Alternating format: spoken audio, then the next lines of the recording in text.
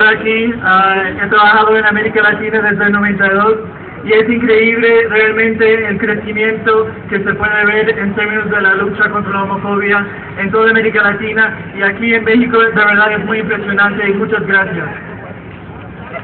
Le voy a hablar sobre dos momentos históricos en el trabajo contra el VIH-Sida y también en la salud. En 1990, la Organización Mundial de la Salud sacó de la lista de enfermedades la homosexualidad.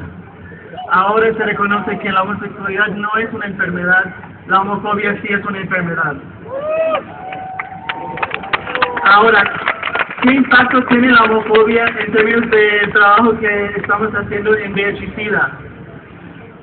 En 2001, otro momento muy histórico, todos los países del mundo afirmaron en la Asamblea General una sesión, especial sobre VIH y SIDA, un compromiso que todos los ciudadanos en el año 2010 tenga acceso universal a programas de prevención, atención y apoyo, incluyendo a los grupos más vulnerables, a los hombres gays y otros hombres que tienen sexo con hombres.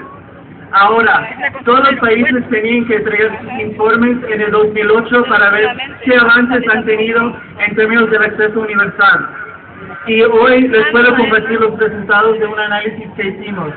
De los 128 países de África, Asia, América Latina, Caribe y ah, Europa del Este, solamente de 128 países, 90 países no han informado nada sobre qué están brindando en términos de prevención, programas de prevención en VIH. Es decir, 70% de los gobiernos hoy en día no les importa la situación de la prevención del VIH en los hombres homosexuales.